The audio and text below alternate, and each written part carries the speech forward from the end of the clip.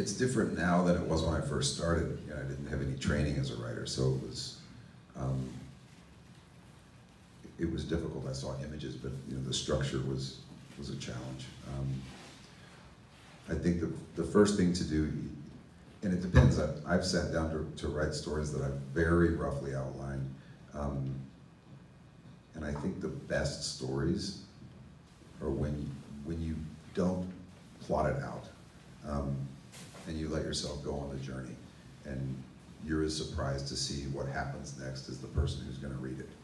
Um, and so that's how I like to write.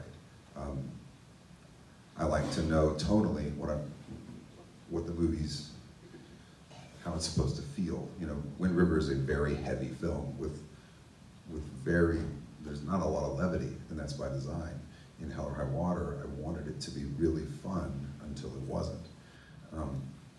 So you have to understand the tone, and you have to understand what you're trying to say, um, and not necessarily what you're trying to say to move a plot forward, but what's this thing about? And, and every line and every action should somehow move that point forward, even more so than the plot. There's a lot of scenes in Hell or High Water, for example, that have absolutely nothing to do with plot.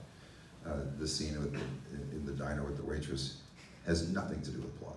Um, you know, conversations between the two brothers that do not move plot forward will let you understand their motivations.